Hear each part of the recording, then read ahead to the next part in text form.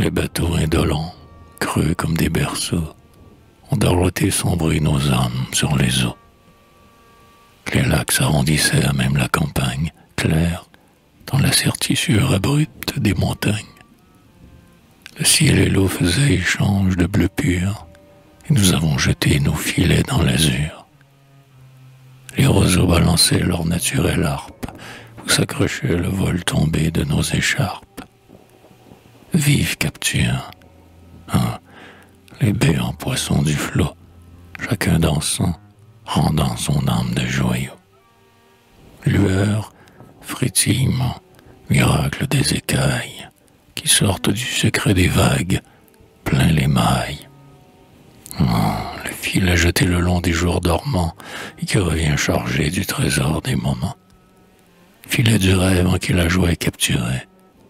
Poisson, joyeux moment, bonheur, pêche dorée.